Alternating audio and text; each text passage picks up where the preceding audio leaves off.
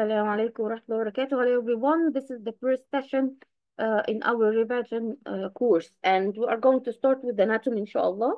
I was just telling my dear candidates that the more questions you are answering, the more confident you are in part one. Not in only in part one, in all parts, uh, to be to be honest, but in part one specifically, as, as, as I'm always mentioning, don't swim in the ocean of basic knowledge. It's an ocean.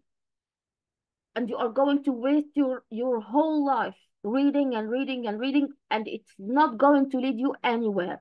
Why? Because the questions are very specific on some point that you may miss. You may have never read about it. L let me tell you very, very clear. Some questions in part one exam, and it's written in the uh, in the bank, uh, the college bank of questions that they use for the exam.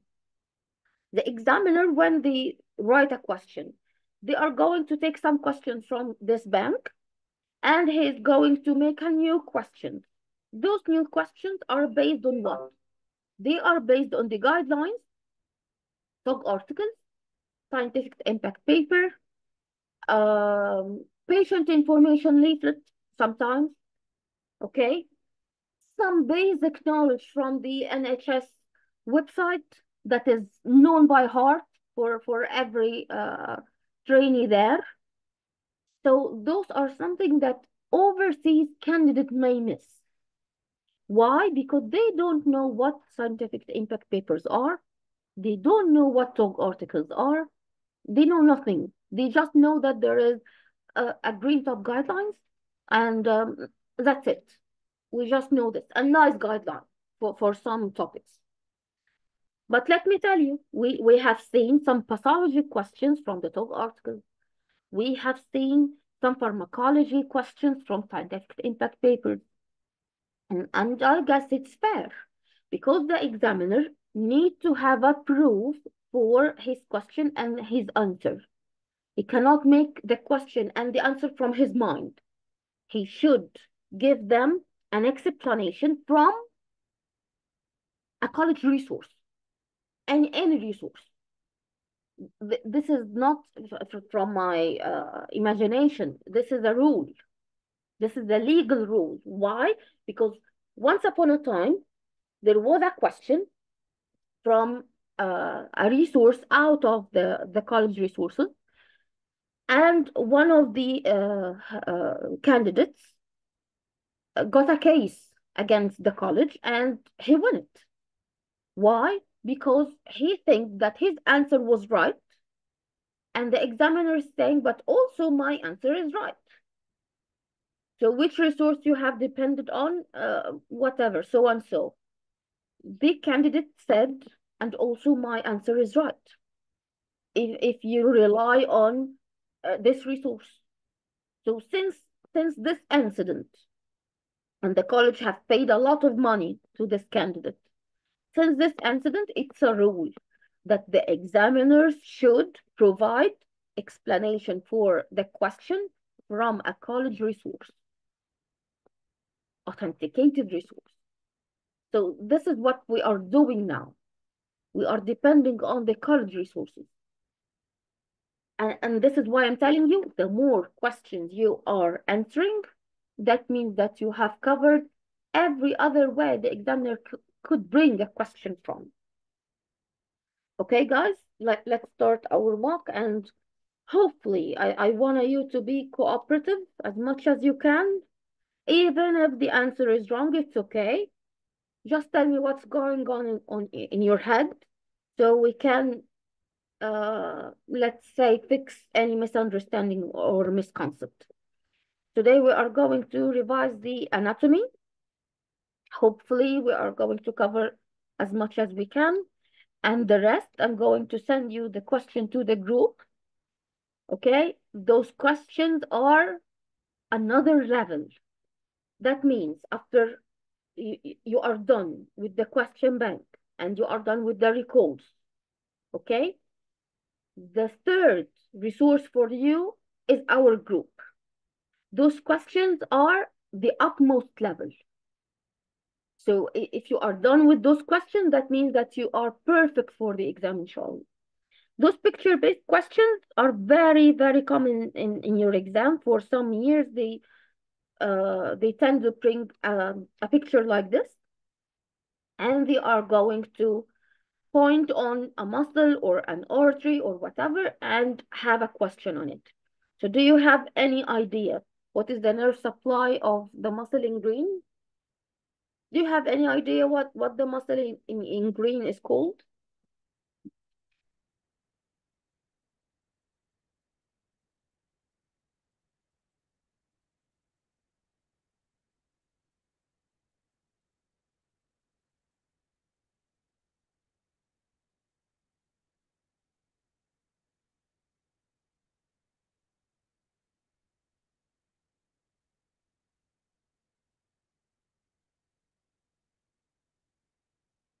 Okay, this is indirect question.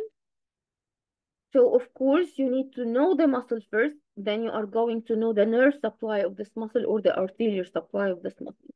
The one in green here, yes, excellent. It's the anterior rami of spinal nerves from L1 to L3. Okay, so let's see the other one. The other one in green now.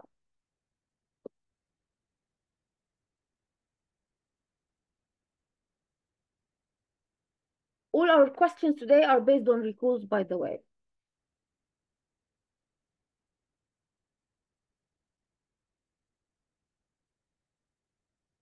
This one is a little bit lower than the other.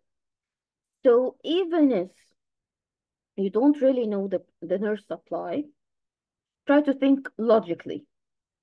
Okay, if, if this one is L1 to L3, so I'm expecting that this one is going to be a little bit lower than the first.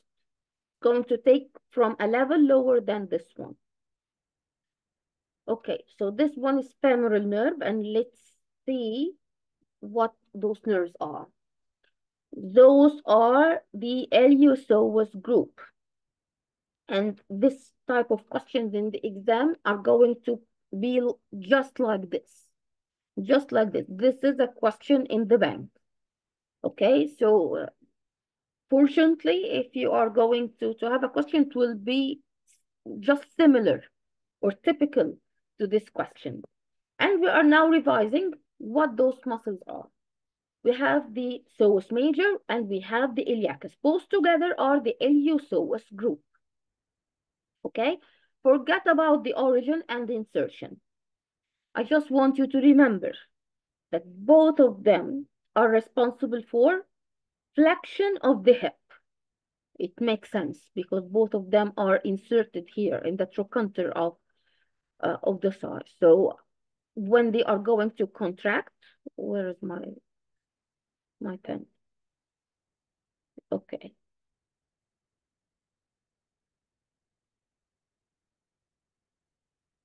Okay, here we are.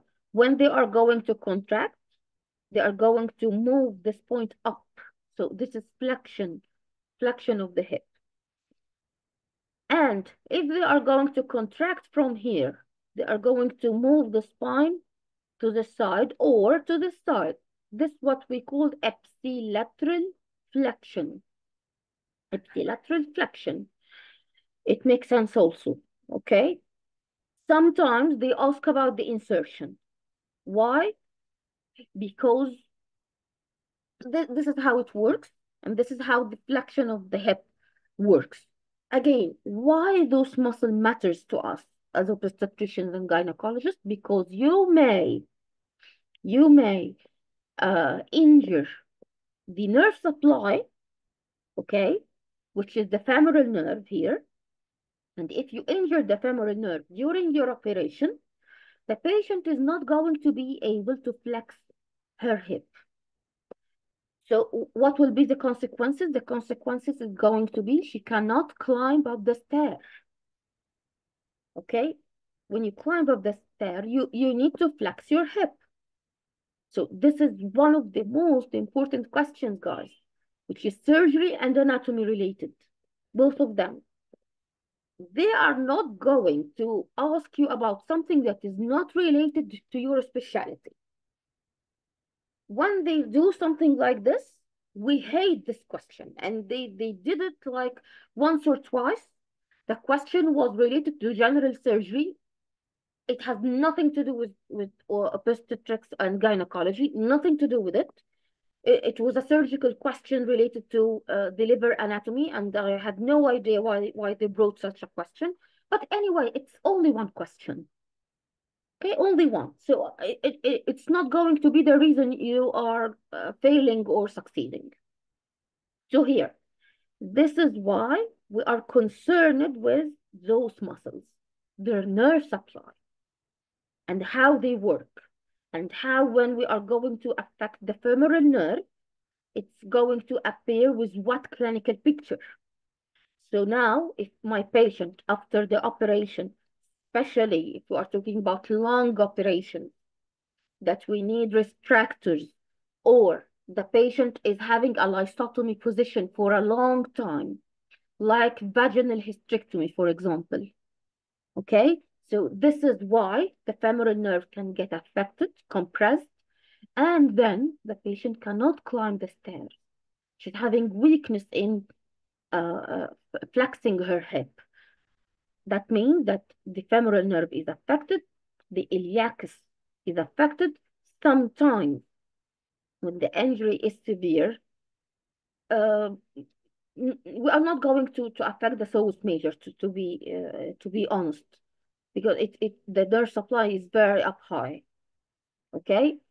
However, if by any reason, uh, it, it, whether it was malposition during uh, the operation on, on the operation table, and it, it may happen, it may happen, okay? Or for whatever reason, the nerve injury was very severe, up to the level that L1 to L3 is affected, okay? Both remind. So yeah, she, she's not going to be able at all, at all to flex, flex her, uh, her hip. Okay, let's move on.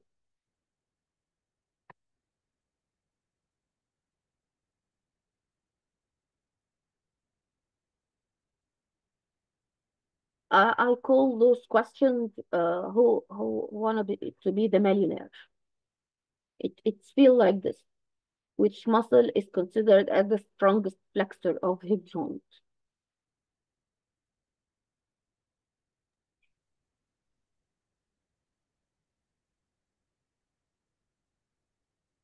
Come on, you should be able to, to answer this now.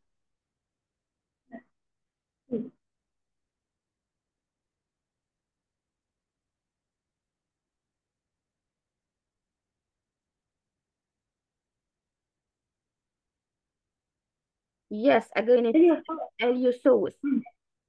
It's not clear. All of you cannot see the, the screen clearly.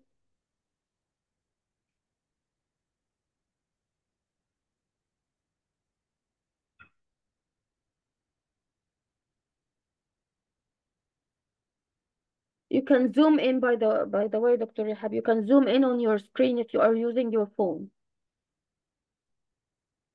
Zoom in uh, as you are zooming into any picture.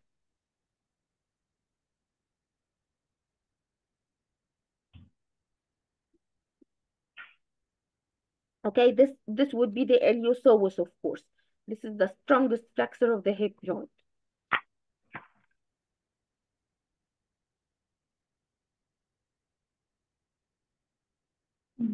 Okay, th this one I, I have answered for you. So let's have a quick revision over the ligaments that keep us upright. This is also a recall question, okay? The muscle or the ligament that help us to be upright and restrict the lateral flexion of the pelvis, of the pelvis. This would be the iliolumbar ligament. Those ligaments here are the strongest ligaments that is restricting the pelvis where it is. Our pelvis only can move forward and backward. but the pelvis never is going to be able to do lateral flexion.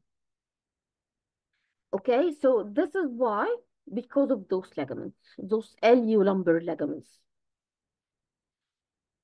Those are the lumbosacral junction here and here. Lumbo and sacral here, the, this joint. Okay, and those ligaments are, are fixing the pelvis to the lower part of the spine, as you can see. Okay, if we have only those ligaments on one side, we would do some flexion on the other side. But because they are bilateral, so the pelvis is restricted to do the lateral flexion. As I told you, this kind of questions, you are not going to be able to cover what, however, or whatever resources you are reading. I'm, I'm, I'm telling you honestly, those questions are like, uh, who wants to be the millionaire? But, but they have, they have a point.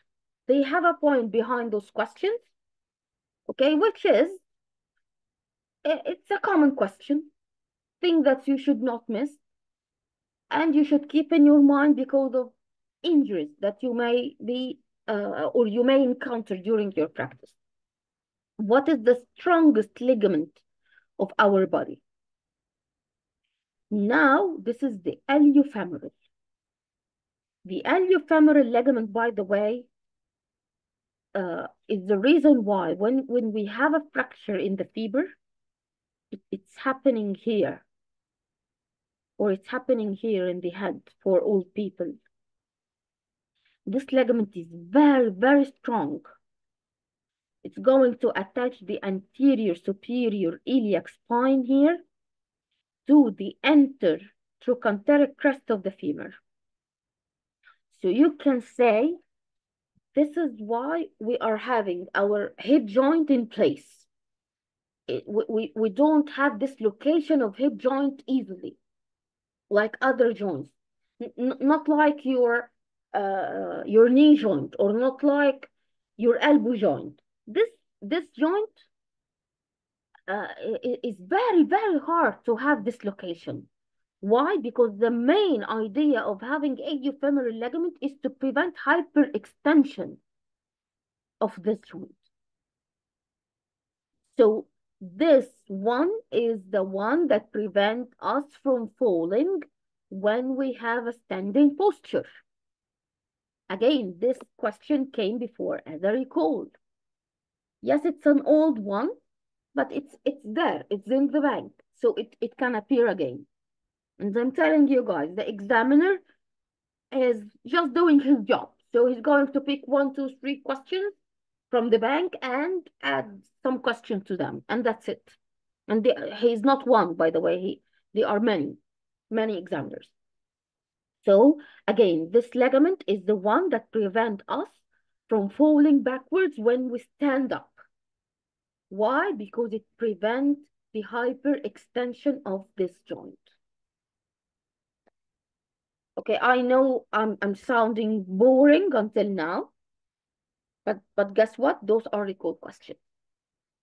And I have collected some key facts about the hip and thigh that you, you may have a look over them it's going to help the, you, by the way. Uh, hopefully they are going just to remind you what are the muscles of each quadrant or each joint. Okay, the iliopsoas muscle is very important in the exam. So please, please try to remember the innervation, the blood supply, and the function especially the nerve in, uh, innervation. Okay? Why? Because each one of those guys can be affected during our obstetric and gynecological operation. We can hit the obturator nerve, we can hit the femoral nerve, we can hit the sciatic nerve. Okay, so this is why they are important. Not, not because we, they are going to ask you about the origin and insertion of the side compartments and what are the muscles of side compartments. No, the question is going to come as a woman who cannot ride a horse, a woman who cannot adduct her size, a woman who cannot climb the stairs, and so on. Okay, so he wants you to know which nerve is supplying which muscle and the effect after injury, of course. Okay, hopefully we can have some interesting questions. Okay, what is the muscle responsible for supporting pelvic organs in females?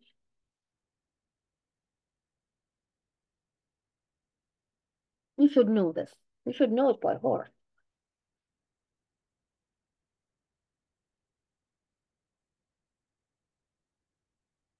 Yes.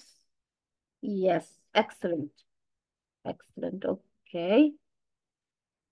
This would be the levator ani, of course. This is the muscle in the pelvic floor that support the pelvic organs. Does this mean that it is the only one or the only component of the pelvic floor? No, we have other ligaments also. But the levator ani is the main one, and the levator ani muscle is composed of several muscles. Okay, so this this muscle is supporting the uterus, and it's supporting the bladder, and it's supporting the anus in its place. Okay, when we have weakness in any of those muscles, according to the muscle of weakness, we can have uterine prolapse and we can have cystocele, bladder prolapse, and we can have rectocele, right? The rectal prolapse. So let, let's revise quickly. We have here the pubococcygeus. Pubococcygeus is this one that surrounds the opening of what?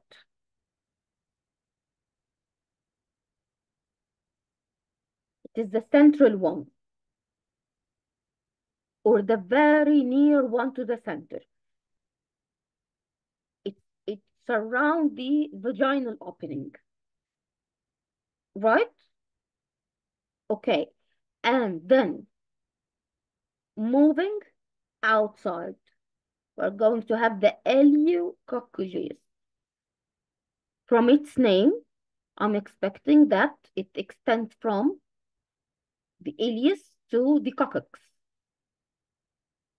right? And we have around the anus, the puborectalis. Puborectalis is going to join the uh, perineal body in here, and it's going to extend until it reaches the symphysis pubis or the pubic bone.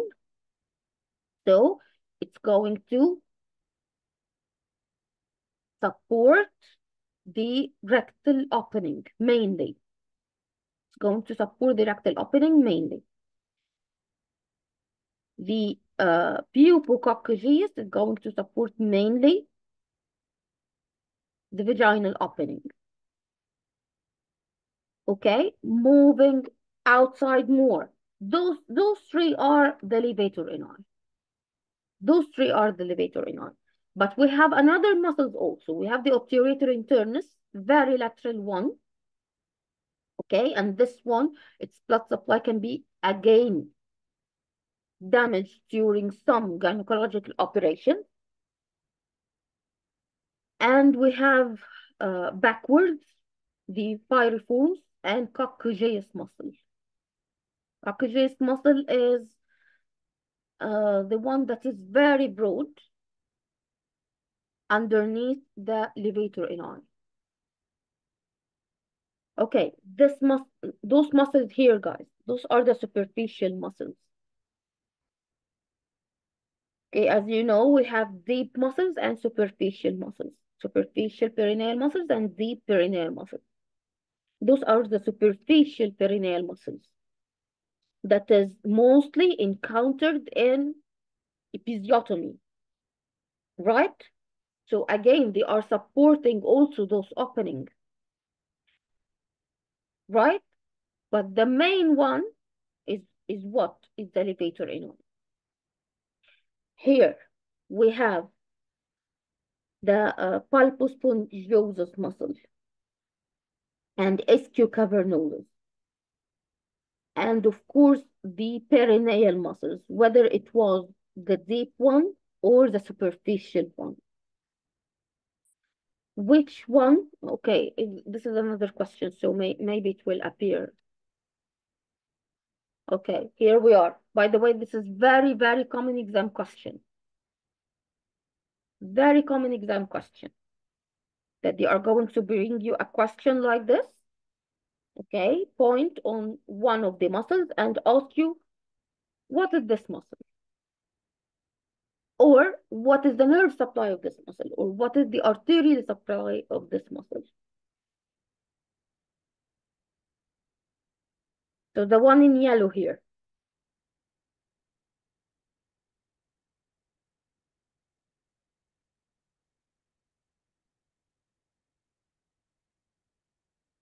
The one in yellow here, it's extending from the sacrum all through to the iliopectineal line. So it is the iliococcygeus, biologic, biologic. Yes, yes. So, so even if I'm I'm having conflict in the exam, I'm not I'm not really sure or I have forgot. Let me think out loud, okay? So it, it is extending from the sacrum to the iliopectineal line, right? So this is the iliococcygeus. The iliococcygeus is from the superficial or the deep perineal muscle.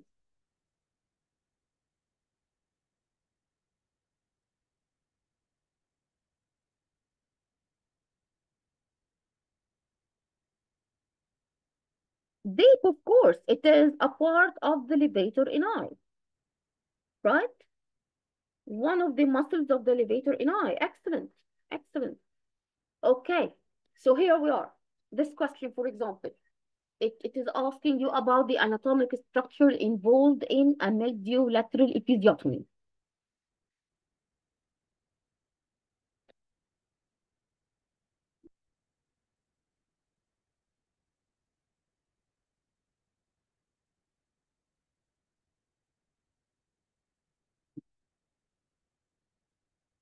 First of all, I'm not going to encounter any deep muscle in my episiotomy. My episiotomy should involve only superficial muscles. Right? It, it, it's not, not going to affect the deep group of, of muscles. I, I made it very easy. okay, yes, you are right. You are right. It is number one. Yes. So here we are again. I'm reminding you. Here we are. We have the vaginal opening here. This is the bulbocavernosus, the one that is very near to the vaginal opening, the superficial one, of course.